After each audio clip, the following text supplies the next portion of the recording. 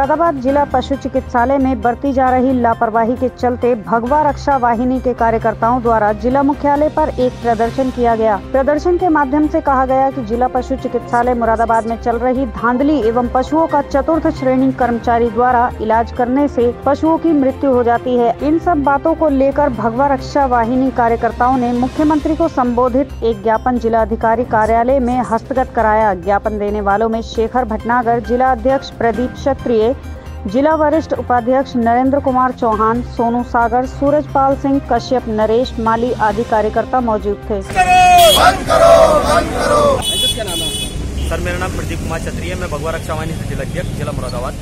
किस संबंध में आज प्रदर्शन किया जा रहा है। सर मैं जो सदर में ताड़ी खाना पे जो अवैध रूप से 300-500 रुपए लेकर पशुओं का उपचार कराया जा रहा है और ये जो धांधलेबाजी चल रही है अभी हमारी तीन से चार गौ माता इन्होंने उपचार के दौरान मार दी जो कि फोर्थ क्लास कर्मचारी द्वारा उपचार किया जाता है और गाय मार दी जाती है। अभी इतवार के दिन शेखर नाम के व्यक्ति अपना बुलडॉग कुत्ता लेकर सदर में गया और फोर्थ क्लास कर्मचारी द्वारा उसने इलाज करवाया। उससे तीन सौ रुपये से पाँच पहले पाँच सौ रुपये की मांग करी। ठीक है, उसने तीन सौ रुपये में इनकी साठ गांठ बन गई।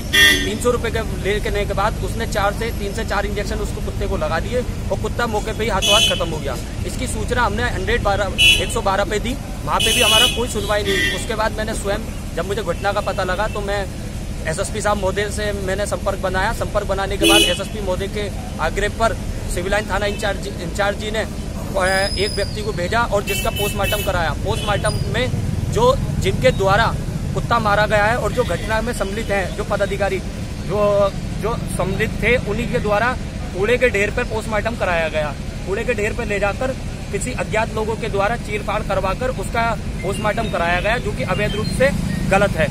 उसके उपलक्ष्य में जिन, जो लोग इसमें आरोपी हैं, जो भी उस अधिकारी जो अधिकारी हैं, उसमें आरोपी हैं, वही लोगों के द्वारा उन्होंने अपनी जात पूर्ण रूप से लगाकर भेज दी गई है, जो कि हम उसका विरोध करते हैं। हम ये चाहते हैं जिलाधिकारी द्वारा कि उसका पोस्टमार्टम द्वारा, कुत्ते का द्वारा कराया जाए और जितने भी पशु गौवंशी मरते हैं, उन्हें न्याय मिल सके। जय श्री राम।